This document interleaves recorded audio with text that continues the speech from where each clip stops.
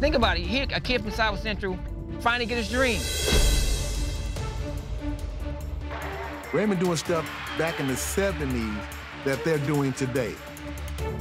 It was crazy, and Raymond did not disappoint. Everybody wants to come out and see the, the best scorer in the nation. I've seen a lot of those games.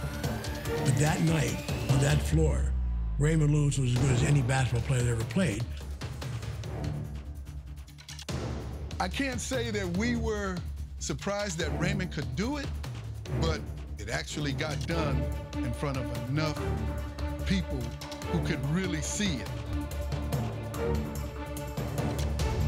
I didn't hear no more from Raymond, or I didn't hear no more about it.